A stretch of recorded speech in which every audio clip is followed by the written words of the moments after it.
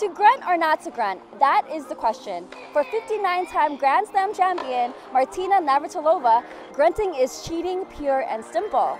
For 18-time singles Grand Slam champion Chris Evert, grunting is distracting.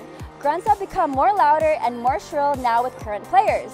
Does grunting really benefit the players? What do you think about grunting in tennis? I think it's great. I think it helps. It helps bring out the passion in the game. You know? Um, I think it helps hit the ball harder. Don't, but I know it helps you hit the ball on the court when you're actually playing. I don't think it's really a problem as long as it's not excessive and people are just like doing it for their swing. And I do appreciate the grunting when I watch it professionally. It's, uh, it's beneficial for the athletes. It's uh, all about breathing.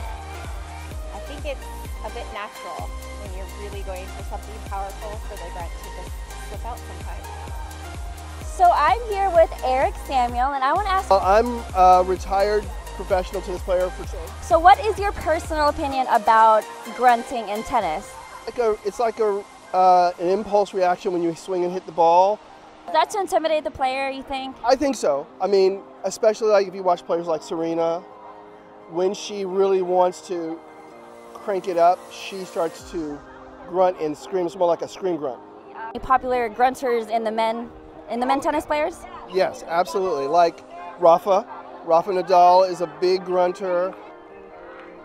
Expressing air out your lungs while doing physical exercise, also known as grunting, has been known for hundreds of years.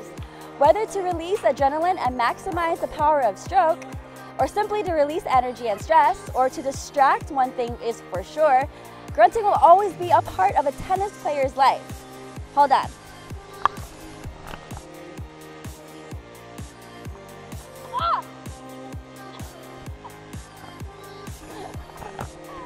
From the City Open here in Washington, D.C., I'm Raisha Canlas and I am one with 25.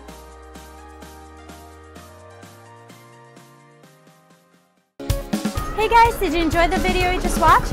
Well, if you did, make sure to give it a thumbs up and don't forget to subscribe to watch our upcoming features.